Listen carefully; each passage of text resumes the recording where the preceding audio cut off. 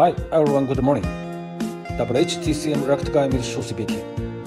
Now let me share with you our new 100 liter stainless steel high temperature vacuum distillation reactor.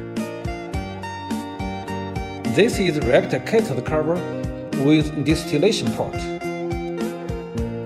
This is gas phase inlet, liquid phase inlet, and solid phase inlet.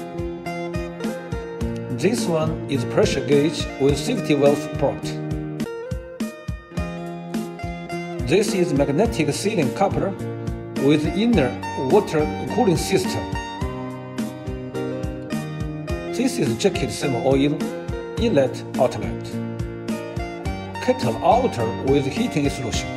If you have any interest for our product, please send us your inquiry. Thank you.